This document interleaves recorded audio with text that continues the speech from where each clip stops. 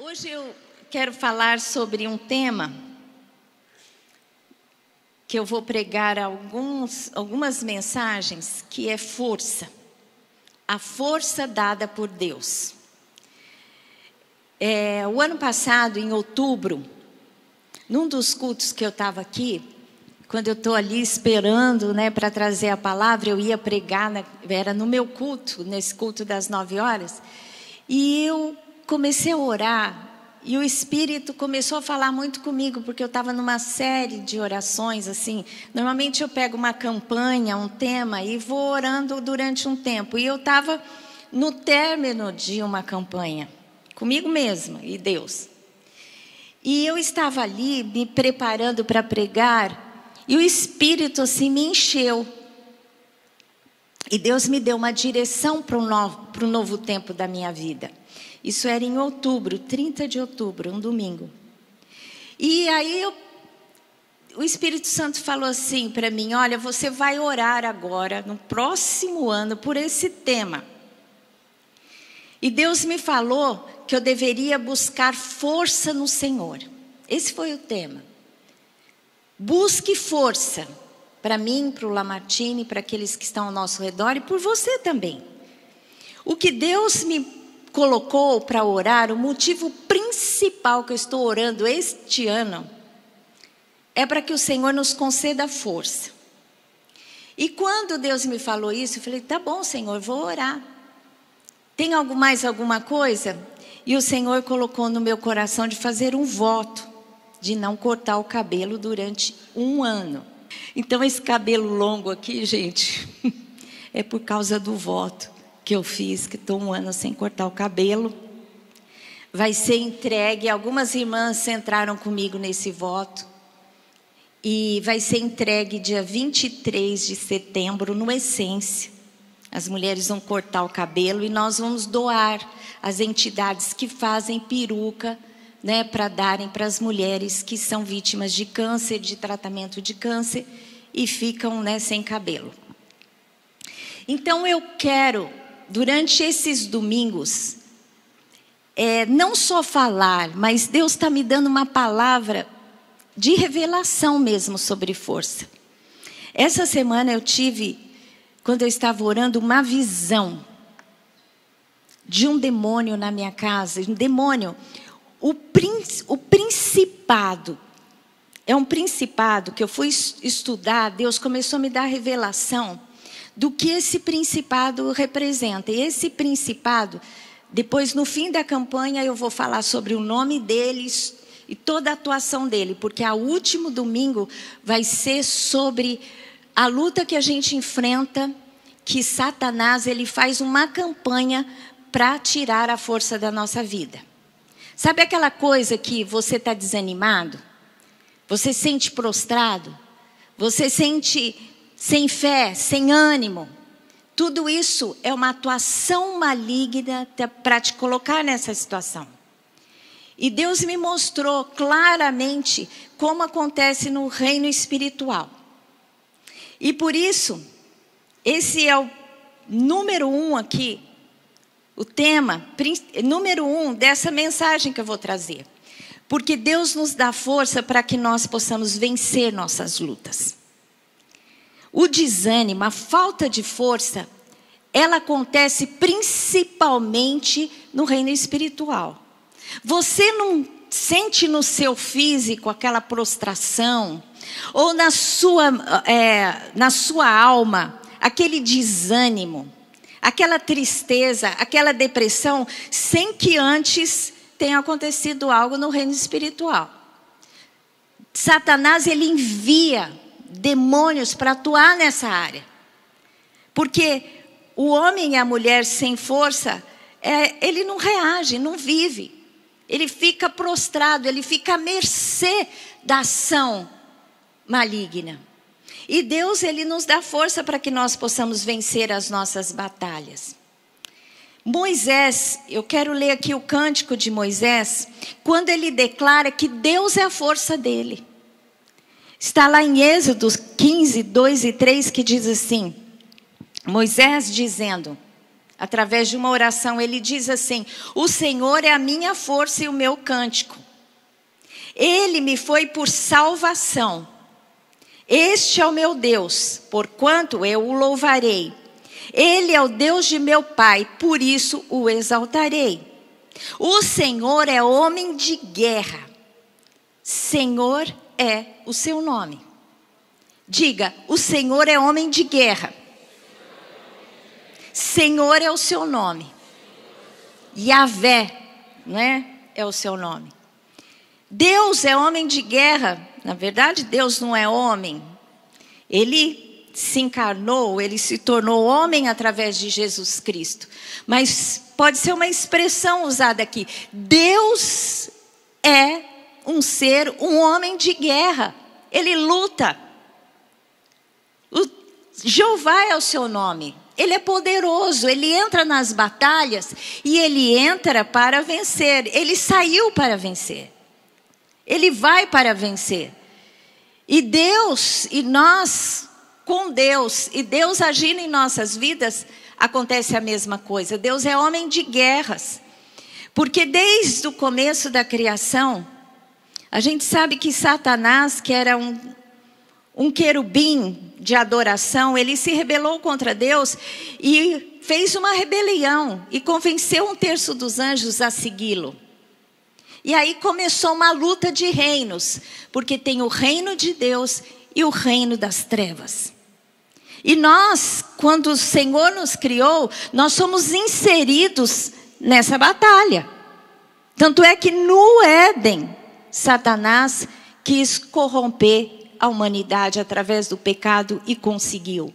Mas logo no Éden, Deus falou: e deu uma condenação para a serpente, para Satanás. Ele disse assim: Você venceu agora. Você convenceu o homem a pecar. Mas vai chegar um dia que o descendente da mulher vai pisar na sua cabeça. E você vai ser derrotado. E isso vai acontecer definitivamente quando Deus julgar todas as coisas. Mas hoje, nós que estamos inseridos nessa batalha espiritual entre o mal e o bem, entre as trevas e a luz, o Senhor é conosco, o Senhor é homem de guerra. E Ele está conosco, Ele é a nossa força. Ele nos dá força para vencer as nossas batalhas. Amém? Moisés falou sobre isso e Moisés enfrentou muitas batalhas. Vocês que conhecem a história de Moisés, sabem que ele foi chamado por Deus para ser o libertador do povo de Israel, quando o povo estava cativo no Egito. Você imagina Deus falar para um homem voltar para o Egito, porque ele tinha se, ele foi criado no Egito, mas tinha se afastado. Deus fala com ele e diz, e diz para ele: volta, que você vai ser o libertador do povo. Mas como ser libertador? Como libertar um povo que estava cativo no principal império daquele tempo? Com força, como libertar o povo do Faraó? E vocês sabem que Deus, pelo seu poder, desceu, né, com a mão poderosa. A palavra de Deus diz que Deus, ele se manifestou com mão poderosa para mostrar quem ele era. O Senhor é o seu nome. E ele mostrou para quem, para que ele veio e quem ele é, libertando com mão poderosa o povo de Israel do Egito através das dez, dez pragas. E assim Moisés enfrentou o Faraó e venceu o Faraó na força do Senhor. Depois a gente sabe que Moisés enfrentou 40 anos no deserto. Deus ali os colocou e permitiu que ali eles ficassem não é? Porque Deus os tirou do Egito, mas os 40 anos do Egito, Deus foi tirando, os 40 anos do deserto, Deus foi tirando o Egito do coração do povo, até que eles estavam preparados para tomar posse da terra prometida. Então nós sabemos que nós somos inseridos nessa guerra. E o Senhor dá força para nós. Nós não entramos nessa guerra com, sabe, sem apoio. Muito pelo contrário. O Senhor nos fortalece para que nós possamos vencer as trevas. Vencer o inimigo, ele nos dá arma, ele nos dá estratégia, ele nos dá revelação. E quando ele quer que nós hajamos, ele vai falar, vai em frente. Mas muitas vezes ele vai intervir de forma milagrosa nas nossas vidas, mostrando a sua força e o seu poder. Eu falei aqui sobre a força de Deus, desde o Gênesis. Toda a história da humanidade, Deus se revela com força, protegendo o seu povo, estabelecendo o seu reino através do seu povo na terra. E até o fim, no Amagedon, na guerra que vai haver, depois do, da tribulação dos anos, né? que o Senhor vai derramar o seu juízo sobre a terra. Mesmo depois, na guerra final, no Amagedon, né, a palavra de Deus descreve lá no Apocalipse que vai ter uma guerra final, que vai acontecer lá em Israel. Entre o povo de Israel e todas as nações que virão contra Israel. E naquele momento, Jesus vai descer e demonstrar o seu poder e vencer as nações e os homens que se levantam contra ele. E o profeta Joel, ele profetizou no Velho Testamento sobre esse momento, essa guerra final que vai acontecer. E ele disse assim, em Joel 3:10: Forjai espadas das vossas relhas de arado e lanças das vossas podadeiras. Ou seja, das suas relhas de arado, você que trabalha no campo, você tem um instrumento ali de trabalho. Mas daquele instrumento você vai fazer uma arma. Das vossas e das vossas podadeiras, o que poda, não é? A plantação, você vai fazer uma lança. Em outras palavras, vai chegar um momento que aquilo que você tem na mão, o seu instrumento de trabalho, vai se tornar uma arma de guerra, porque todos nós estaremos envolvidos nessa guerra.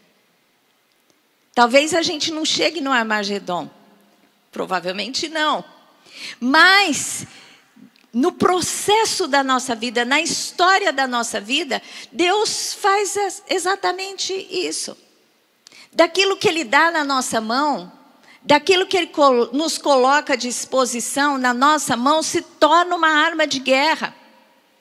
Vocês lembram de Moisés? Quando Deus falou com Moisés, falou: Volta para o Egito, que você vai enfrentar Faraó. O que, que Deus deu na mão de Moisés? O que, que Deus deu na mão de Moisés que ele carregou o tempo todo? Um cajado. Por quê? Porque ele era um pastor, era a arma de trabalho. O cajado fazia parte da vida dele e o cajado se tornou uma arma de guerra. Então, parte da estratégia de guerra de Deus para as nossas vidas é fazer com que aquilo que você tenha nas suas mãos se torne uma arma de guerra. Eu que sou pastora, o que, que é uma arma de guerra? A palavra. Para mim é uma arma de guerra. Deus me levantou para isso. A revelação, Deus me dá uma revelação para que se estabeleça algo, para ensinar você, para orar por você pela igreja. São armas de guerra para que eu possa avançar e o reino de Deus possa ser estabelecido. E qual é a arma que Deus tem colocado nas suas mãos? Se você está no seu trabalho, você tem um talento de Deus, aquele talento, aquela capacidade, aquela habilidade, aquele, aquele propósito que Deus colocou no seu coração, aquela tarefa que você vai fazer, se torna o quê? Uma arma de guerra para a conquista para o reino de Deus. Amém? Então encare aquilo que você faz com seriedade, porque tudo passa por uma guerra. Você sabia depois eu vou ler o texto que fala sobre a armadura de Deus. Você sabia que cada área de atuação tem é, organizado um exército, um exército de demônios que atuam nessas áreas? Uma das palavras que eu vou trazer aqui fala sobre a classificação dos demônios. Não vai ser hoje, vai ser quando eu for falar sobre batalha espiritual. Mas quem trabalha na educação, por exemplo, se você é um professor, se você gerencia uma escola, você enfrenta uma casta de demônios, diferente da que eu enfrento, diferente da que um médico enfrenta. O, o, o, médico enfrenta uma casta de demônios, que são demônios que atuam no físico de pessoas, trazendo enfermidades. Aquele que está na, por exemplo, no entretenimento, nas mídias, eles enfrentam uma casta de demônios muito diferente, que atuam ali. E você tem que ter discernimento da luta que você enfrenta onde você está. Ontem nós oramos por uma irmã da nossa igreja que Deus está levantando ela na Netflix. E orei por ela, porque ela vai enfrentar uma luta não é espiritual para estabelecer a vontade do reino de Deus onde Deus a colocar, mas ela vai enfrentar o que? Aquela organização demoníaca, demoníaca que lá atua. Então, Deus nos dá força ele nos fortalece para que nós possamos caminhar, progredir, avançar, estabelecer o reino de Deus na terra. Amém? Porque nós estamos numa guerra, nós estamos numa luta. Só que a gente tem que entender que o Senhor é homem de guerra. E o Senhor nos faz pessoas, homens e mulheres de guerra. Mas nós vamos na força do Senhor. Em Efésios 6, 10 e 12 diz assim, quando fala da luta espiritual: Quanto ao mais, sede fortalecidos no Senhor e na força do seu poder. Na batalha espiritual, você tem que ser, eu tenho que ser fortalecida no Senhor. O Senhor tem que manifestar e tem que derramar e tem que me envolver com a sua força. Eu tenho que ser fortalecida no Senhor. Deus que é Deus todo-poderoso, que tem força, ele que é um homem de guerra, ele que vai me fortalecer. Na onde que ele vai me fortalecer? Na força do seu poder. Revestivos de toda a armadura de Deus, Guerreiro tem que ter armadura para poder ficar firmes contra as ciladas do diabo. O diabo é aquele que arma ciladas constantemente na nossa vida. Porque a nossa luta não é contra a carne, a nossa luta não é contra o sangue e a carne, e sim contra os principados e potestades, contra dominadores deste mundo tenebroso, contra as forças espirituais do mal nas regiões celestes. Tudo isso acontece no segundo céu. Nós vivemos na terra, tem o primeiro céu, que é a atmosfera, o segundo céu, onde estão anjos e demônios lutando, onde Satanás fica, e o terceiro céu, onde é o trono de Deus. Satanás tem acesso ao trono de Deus. Lembra quando ele se apresentou a Deus para falar sobre Jó? Não é? Tava passando os anjos diante do Senhor e lá se apresentou Satanás e disse: Aí Deus começa uma conversa com Satanás e diz: Olha o meu servo Jó, como ele é fiel. Aí Satanás fala: ah, mas ele é fiel porque o senhor dá tudo para ele, é lógico que ele vai ser fiel. E aí Deus permite que Satanás vá provar a fidelidade de Jó para com ele. E a gente sabe o final da história, que Jó fica firme no Senhor e tudo aquilo que Satanás tinha tirado da vida dele, Deus devolve em dobro. Amém? Porque muitas vezes, como é, a gente cantou, mesmo na doença, Deus continua sendo Deus. Mesmo nas tribulações, Ele continua sendo Deus. E lá, no momento da aflição, Deus está com você e lá Ele te fortalece. Porque Jesus, Ele nos salva e Ele não nos tira do mundo. Ele disse assim: no mundo decaído, contaminado pelo pecado, vocês vão ter aflições. No mundo tereis aflições. Por quê? Porque é um caos por causa do pecado. Pessoas fazem coisas contra você. Há organizações malignas que interferem na sua história. Ou mesmo o mundo decaído, enfermidades, catástrofes, tudo isso acontece. E nós passamos por aflições, mas nós temos que ter bom ânimo. A força nós temos que receber do Senhor, porque Ele venceu o mundo para que nós nele fôssemos fortalecidos para vencer o mundo. Amém? E todas as suas dificuldades.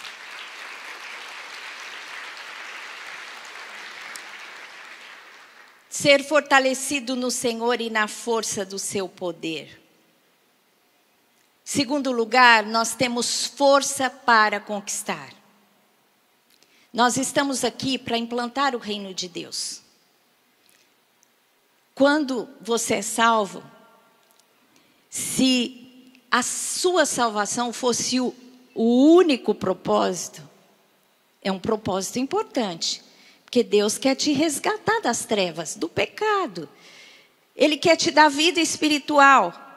Mas depois que isso acontece, ele vai te fazer instrumento de restauração e de salvação na vida de outros. Por isso que quando nós somos salvos, o que, que Jesus espera de nós? Que nós façamos discípulos de Jesus. Então, você é salvo e você não é arrebatado imediatamente e continua aqui porque Deus tem um propósito para a sua vida. O que? Conquistar, estabelecer o reino, falar de Jesus, ganhar vidas para Deus. No livro de Deuteronômio 8, de 17 a 18, fala sobre essa força para a conquista que Deus nos dá. E esse trecho ele relata o tempo que o povo ia entrar na terra prometida. Eles iam passar por um momento de grande conquista. Aliás, toda essa história de Israel, na verdade, é um aprendizado para nós. Ele disse assim, né, em 1 Coríntios, é o apóstolo Paulo, quando ele fala das coisas que o povo de Israel passou, ele diz assim: Isso Deus permitiu para que nós pudéssemos olhar e aprender. E quando o povo estava para conquistar a terra prometida, olha o que Deus disse para o povo: disse assim: Não digas, pois, no teu coração, a minha força e o poder do meu braço me adquiriram estas riquezas. Antes te lembrarás do Senhor teu Deus, porque é Ele o que te dá força para adquirires riquezas para confirmar a sua aliança que, sob juramento, prometeu a teus pais, como hoje se vê. Aqui Deus disse assim: Olha, você vai entrar para conquistar. Mas lembre de uma coisa: que não foi a sua força, nem o poder do seu braço, que você conquistou tudo isso aqui, não. Porque o povo de Israel ia conquistar as cidades, iam ganhar plantações que estavam prontas para ser colheita, para ser colhida, né, os frutos. Quando Deus trouxe o povo para Canaã, eles dominaram nações, cidades, eles tomaram posse de cidades que eles não tinham construído. E Deus está falando: quando isso acontecer, e eu vou dar muitas vitórias e vocês vão conquistar a terra prometida, lembrem-se que não foi vocês, na força de vocês, mas eu é quem dei força para vocês conquistarem. Quando fala que adquirir riquezas, não é só coisas materiais, fala sobre habilidade. Primeiro, força. Segundo, habilidade e eficiência. Terceiro, fartura. Quarto, força e exército. Essa palavra em hebraico tem essa força, essa plenitude de significado. Então Deus ele nos dá poder, força para que nós possamos conquistar em todos os, os âmbitos da nossa vida. Se você é o único crente da sua casa, Deus quer que você conquiste a sua família. E Ele vai te dar força, vai te dar estratégias para isso. Se você está no seu trabalho você tem que progredir e está estacionado, peça para Deus para que você avance. Porque os talentos que são medidas em prata, ouro que Deus dá nas suas mãos, você tem que multiplicar. Tudo que Deus dá na nossa vida é para avançar. Amém? É para multiplicar. Não somos parados, não somos chamados para ficarmos parados, nós não somos chamados à estagnação. Mas Deus é aquele que nos dá força para vencer. Amém? Para conquistar. É por isso que Deus disse: aquele que colocar a mão no arado, não olhe para trás. Você está colocando a mão no arado? Você é do Senhor, está caminhando para a conquista? Não olhe para trás, vai para frente. Que o Senhor vai ser com você e vai te dar poder para você avançar. É por isso que o homem e a mulher de Deus pode passar por momentos de reveses na sua vida. Deus permite que às vezes a gente passe por desemprego, por alguma dificuldade, mesmo financeira. Mas você tem que buscar força em Deus, buscar estratégias, buscar caminhos. Primeiro entender, abrir brecha para alguma coisa. Eu estou sofrendo isso porque eu abri brecha para que Satanás viesse me roubar? Às vezes pode acontecer. Né? Tem gente que bota tudo culpa no diabo. O diabo fez isso, isso e isso e nunca admite os erros que fez. Porque ele atua, o que, que a palavra de Deus diz? Que ele vai na área de cobiça da sua vida, na sua fragilidade. Então ele te arma ciladas, você cai. Mas você tem que se fortalecer para não cair, não abra brechas. Se você abriu brechas, fecha as brechas. Tenha discernimento, peça perdão a Deus e você está então sanado. Você fecha as portas. Mas muitas vezes, mesmo caminhando segundo a vontade de Deus, Ele vem e nos agride. Não é? Faz, faz coisas contra nós. Nós sofremos muitas coisas. Mas a palavra de Deus diz que a nossa vida, Satanás não toca. A nossa vida, os nossos dias estão na mão do Senhor. Ele quem estabelece, Ele quem conta os nossos dias. Ninguém morre de véspera. Você vai morrer o dia que Deus permitir que você seja levado. Amém? É de Deus aquele momento. Mas você entende que enquanto você está aqui, você tem uma obra para fazer. E Deus é aquele que te dá forças. Lembre-se disso. Gente, isso é tão sério. Porque muitas vezes o homem, ele busca Deus, o homem e a mulher busca Deus quando tudo vai mal. Aí busca, ora, faz campanha de oração, insiste com Deus e Deus abençoa. Porque Deus ouve o clamor, atende o pedido, desejo do nosso coração. Aí aquela pessoa conquista, aí ela começa a achar que quem conquistou foi ela. Não é? Eu já presenciei várias pessoas fazendo isso.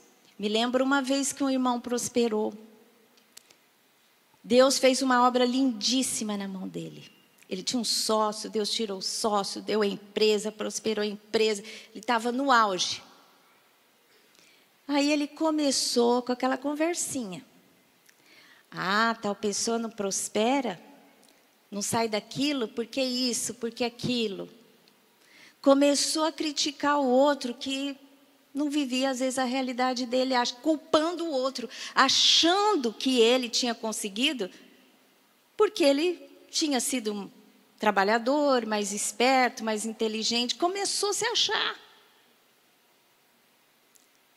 E aí, o que, que Deus fez? Começou a trabalhar na vida dele. Porque Deus não dá honra para ninguém. Amém?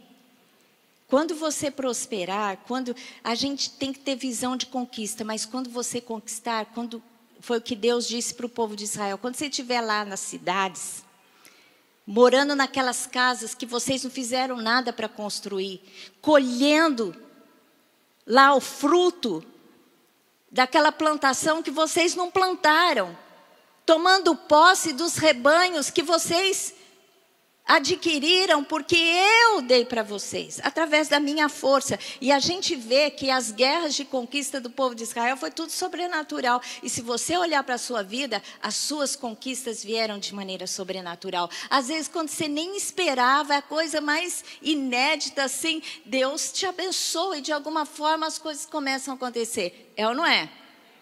Amém? Deus é quem dá forças. Diga, Deus é quem me fortalece.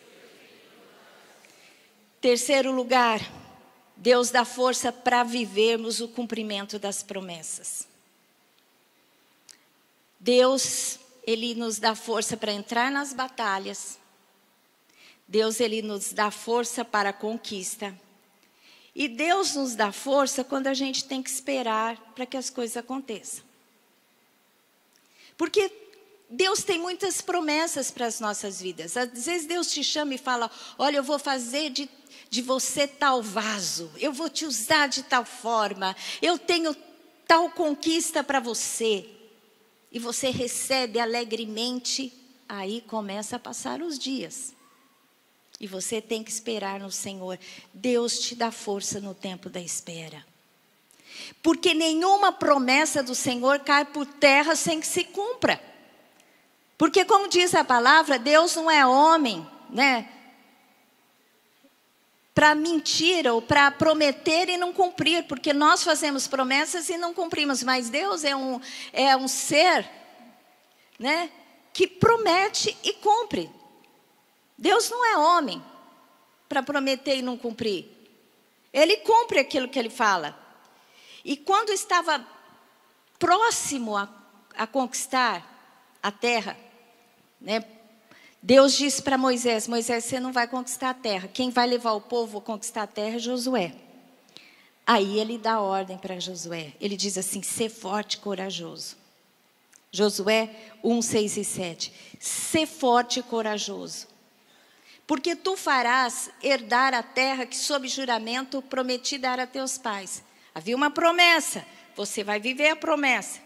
Tão somente ser forte e muito corajoso, para teres o cuidado de fazer segundo toda a lei que meu servo Moisés te, ordenou. Dela não desvies nem para a direita nem para a esquerda, para que sejas bem-sucedido por onde quer que andares. No versículo 9, continua dizendo: Não te mandei eu? Ser forte e corajoso. Não temas, não te espantes, porque o Senhor teu Deus é contigo por onde quer que andares. É, Josué e Caleb foram os únicos espias que foram enviados por Moisés na terra prometida, que vieram com relatório de fé e creram que Deus cumpriria a promessa. Só dois. Josué e Caleb. E só os dois daquela geração entraram na terra prometida. Por quê? Porque eles creram no Senhor e o Senhor os fortaleceu até o dia de entrar na terra. E quando eles estavam para entrar na terra, Deus disse: Josué, ser forte e corajoso, porque agora você vai viver o cumprimento da promessa. Eu te fortaleci nos 40 anos de espera, e agora a tua força será ainda maior. Amém? Caleb. Caleb já tinha 85 anos, já estava, já pensou, um velhinho, 85 anos. E Deus tinha prometido dar uma terra montanhosa para Caleb. E sabe o que Caleb disse quando eles entraram na terra prometida? Josué 14, 11 diz assim: Estou forte, ainda hoje, como no dia que Moisés me enviou. Sabe aquele dia que Moisés me enviou para espiar a terra? Eu, 40 anos depois, estou forte igualmente, porque o Senhor, nos 40 anos de espera, me fortaleceu. Embora os anos tenham vindo sobre mim, eu ainda tenho força. Eu estou forte ainda hoje, como o dia em que Moisés me enviou, para, para qual era a minha força naquele dia qual era a minha força quando eu era jovem? Tal ainda agora para o combate, tanto para sair a Ele como para voltar. Amém? Vamos aplaudir ao Senhor. aqueles que creram na promessa e tiveram que esperar os 40 anos por causa daquele povo incrédulo.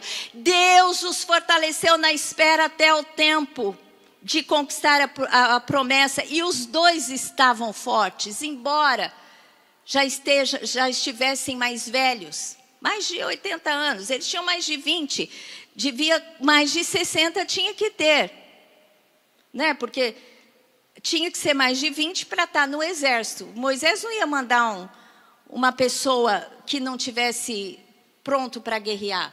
Então, mais de 20 eles tinham, esperaram 40, no mínimo 60 anos. Então, a gente sabe que Deus, Ele dá força para que você viva o tempo da espera. Não se desanime na espera, não deixe que as promessas caiam por terra, porque Deus é aquele que promete e aquele que cumpre. Você pode estar avistando a terra prometida, você fica olhando, desejando, e Satanás, muitas vezes nesse tempo de espera, vai começar a colocar mentiras na sua mente para te abater, para te desanimar, mas o Senhor te fortalecerá. Amém? Até que tudo se cumpra na sua vida, porque não importa o que esteja acontecendo na sua vida, Deus continua sendo Deus. E é dele a força para que você viva tanto tempo de luta, quanto tempo de conquista, quanto tempo de espera. Amém? Glória a Deus. Você crê nessa palavra? Vamos aplaudir ao Senhor. Eu gostaria de cantar aquela música, tem, ainda temos alguns minutos. Aquela música continua sendo Deus. Porque o que Deus está dizendo para você nesta manhã. Eu não sei qual é a fase que está na sua vida. Analise. Você está enfrentando luta espiritual? Você está na fase da batalha? Levante a mão, quero ver. Deus tá te, vai te dar força para você vencer. Amém?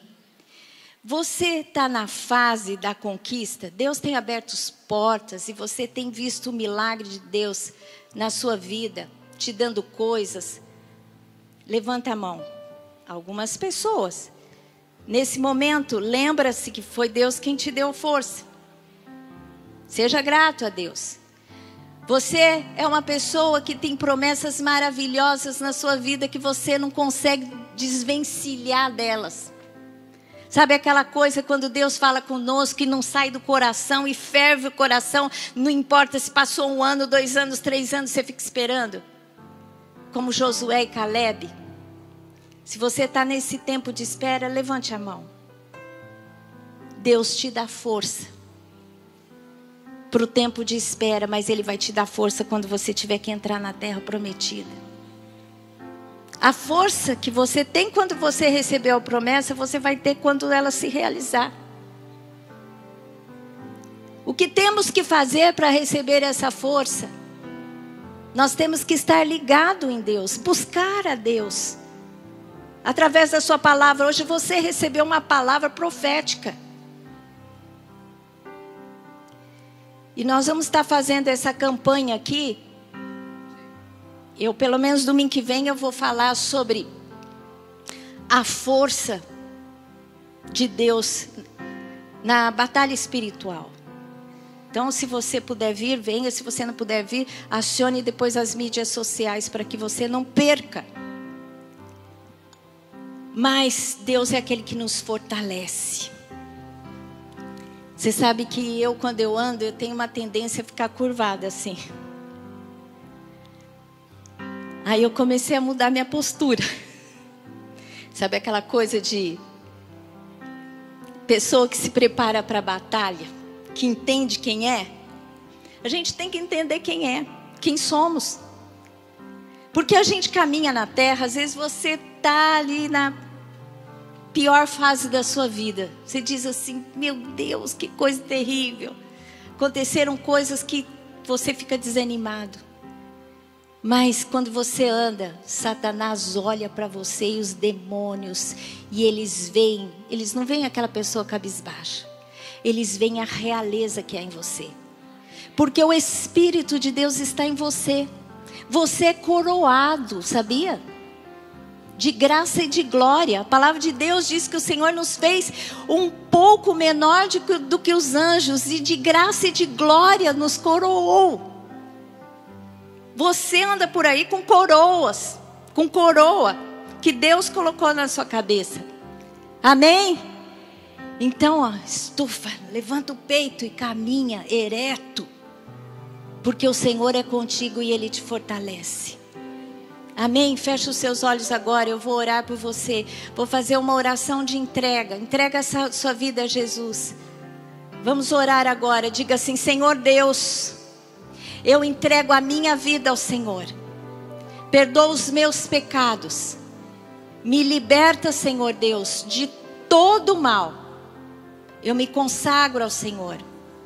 Eu declaro que Jesus é o Salvador da minha vida eu aceito o seu sacrifício, onde ele entregou o seu corpo, verteu o seu sangue, para que eu pudesse ter vida com Deus e salvação. Glória a Deus. Todos nós temos que fazer essa entrega ao Senhor Deus um dia nas nossas vidas para que nós possamos caminhar com Deus. Se você fez essa oração de entrega pela primeira vez, você entendeu agora que você precisa de Deus. Não é Ele que precisa de você, você precisa de Deus. E você quer entregar a sua vida para que Ele trabalhe nela. Restaure, a restaure por completo.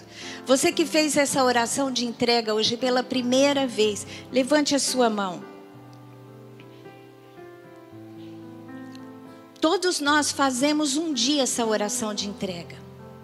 Tem que ser o primeiro passo, o primeiro passo para a vida com Deus. É crer no coração e confessar com a boca que Jesus Cristo é Senhor. Se você fez essa oração de entrega pela primeira vez, levante a sua mão que eu quero conhecê-lo e orar com você mais uma vez. Eu não estou vendo ninguém aqui no auditório. Tem uma pessoa ali? Glória a Deus. Tem mais alguém que fez essa oração de entrega pela primeira vez?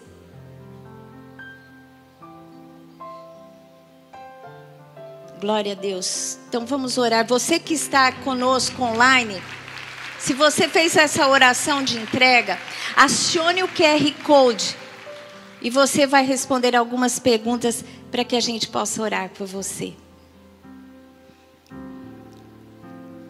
Coloque a sua mão no seu coração. Eu vou orar mais uma vez por você. Que o Senhor Deus possa te abençoar. E que essa decisão que você tomou para entregar sua vida para Jesus seja o primeiro passo de uma vida de comunhão com Deus. Amém? De hoje em diante, a sua história vai ser mudada porque Deus entrou nela. Amém? Então diga assim: Senhor Deus, eu te agradeço, porque o Senhor me criou e agora em Cristo Jesus, o Senhor me salva da morte, do pecado. Eu sou teu, Senhor. Restaura a minha vida. Cuida do meu caminho. Em Cristo Jesus. Amém.